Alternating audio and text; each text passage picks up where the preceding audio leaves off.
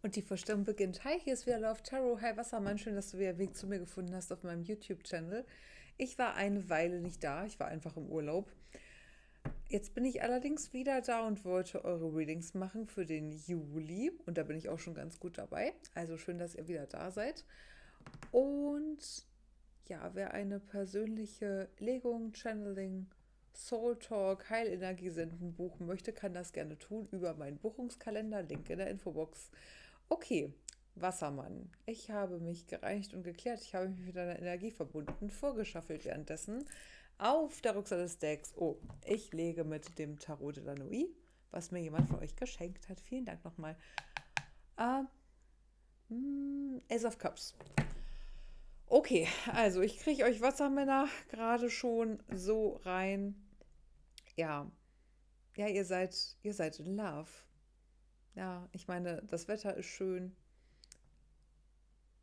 Ähm, ich kriege gerade Frühlingsgefühle.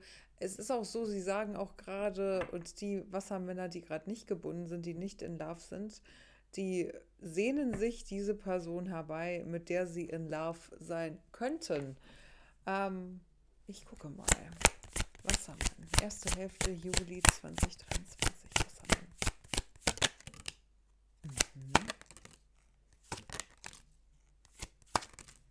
Oh, das ist ganz ähnlich wie Stier. Vielleicht hast du was, äh, vielleicht dealst du mit einem Stier, Wassermann, oder du hast Stier-Placements. Äh, sechs der Stäbe auf der Rückseite des Decks. In einer Sache möchtest du siegreich sein, Wassermann.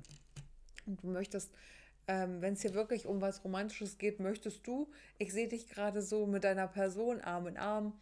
Oder ich habe es gerade gesehen, dass er also dass die eine Person die andere Person so so hochnimmt, so auf die, ähm, auf die Arme, so, so, wie, so wie als würde er sie über die Schwelle tragen.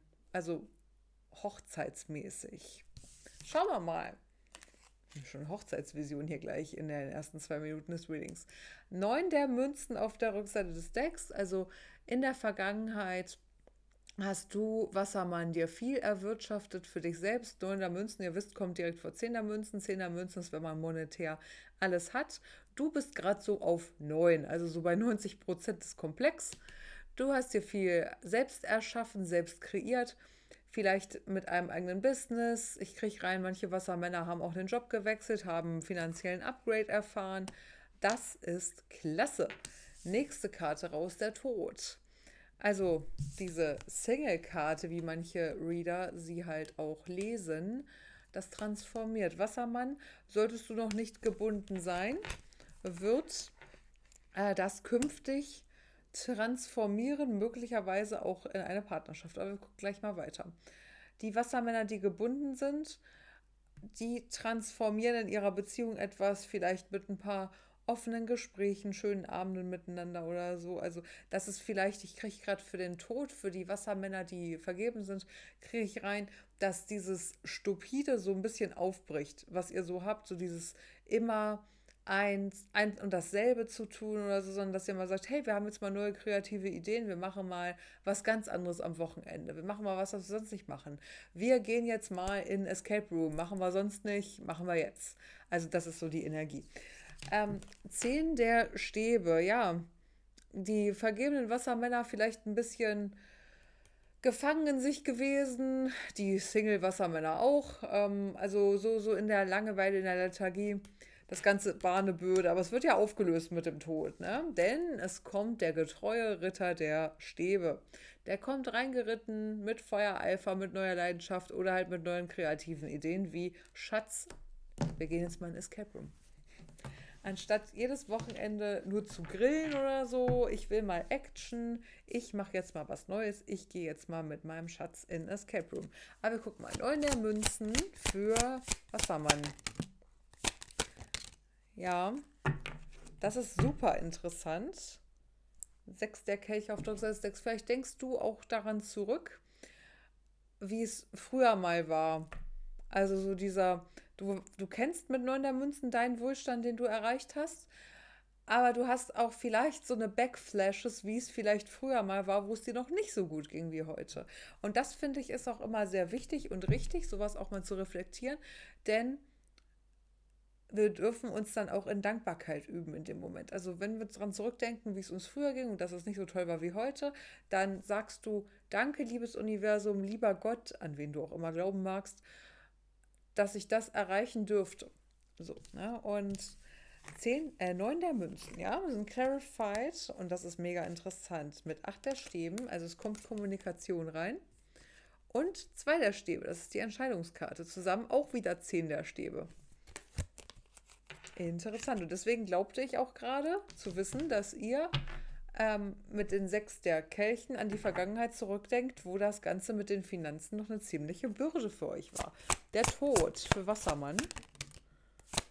Three of Cups und Hermit, ja. Also ich redete gerade von vergebenen Wassermännern, die etwas anders machen wollen, ja.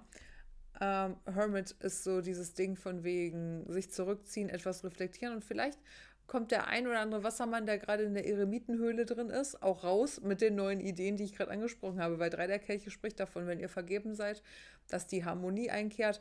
Manche entscheiden sich mit drei der Kelchen auch zur Heirat. Interessant. Ähm, ja, aber auch drei der Kelche sind so halt auch ein Grund zu feiern, immer eine Freundschaftskarte.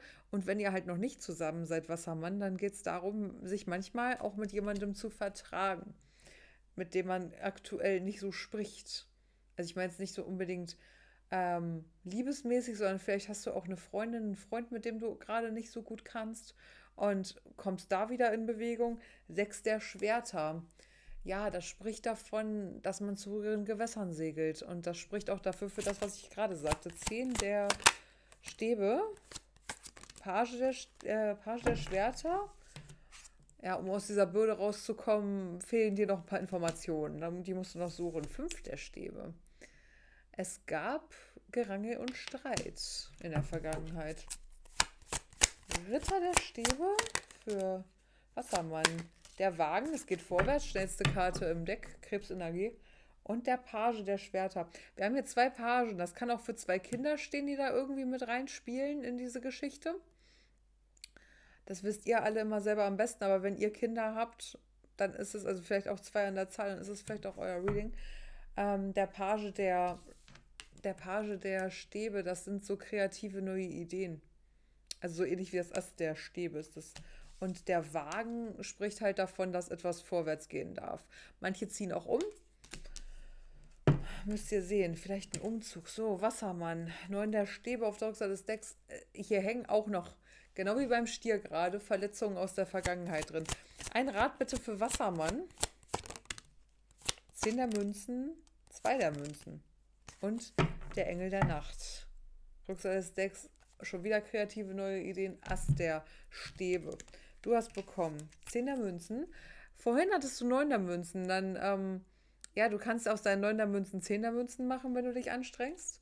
Und aber wisse dann auch zu schätzen, dafür, dass du die 10 der Münzen erreichst, musst du erstmal wissen zu schätzen, was du aktuell hast. Zwei der Münzen, wenn du ein bisschen ins Ungleichgewicht kommst, schaffst du deine Balance wieder, indem du dran arbeitest, von 9 der Münzen in 10 der Münzen zu kommen. Der Engel der Nacht ist in diesem Deck eine extra Karte und steht dafür, dass sich etwas in deinem Leben äh, wo du dich in letzter Zeit in der dunkelsten Nacht bewegt hast, jetzt in die Verbesserung begibt. Also in eine signifikante, merkliche Veränderung und Verbesserung, okay? Also, Wassermann, ich finde, das ist ein sehr schönes Reading. Das war jetzt kurz und knackig, aber die Message war deswegen nicht weniger schön. Wenn es dir gefallen hat, lass ein Like, ein Abo, ein Kommentar da. Teil bitte dieses Video mit allen, die Love Tarot kennen sollten, persönliche Readings zu buchen über meinen Buchungskalender auf meiner Webseite. Und bis zum nächsten Mal sage ich euch, mögen wir uns wiedersehen. Bye!